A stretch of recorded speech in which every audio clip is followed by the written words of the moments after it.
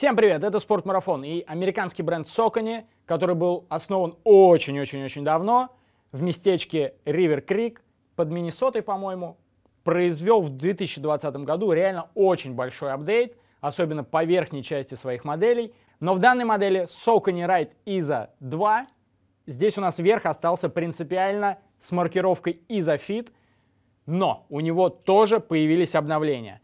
Он лучше стал фиксировать стопу, ушли от петель и сделали стандартные люверсы в этих элементах, которые у нас огибают и фиксируют середину стопы.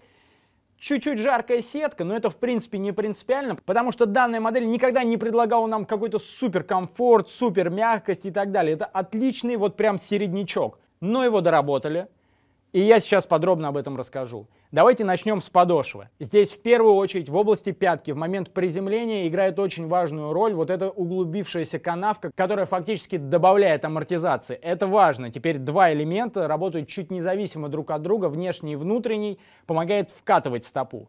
Но у этой кроссовки, напомню, 8 мм перепад, что важно. И, как правило, ребята бегают на среднюю часть стопы. Вообще Сокони очень стабильные кроссовки за счет того, что пена они используют, как правило, более твердая. Это добавляет стабильности, убирает вибрацию, и люди даже с небольшой пронацией внутрь могут бегать в этих моделях, если ребята новички. Нет никаких проблем, их можно рекомендовать.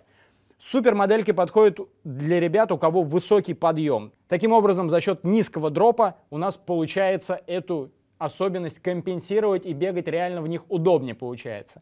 По материалам обивки все достаточно комфортно, ее много, этой набивки, сетки премиальные. Язычок у нас пришит к середине амортизирующей платформы, и с ним надо быть аккуратней, потому что эта лента шириной где-то 5 сантиметров, с ней надо обходиться с пиететом. Нужно нормально расшнуровывать, обувать кроссовку и зашнуровывать, чтобы ничего не сборило и вам на длительных пробежках это не мешало.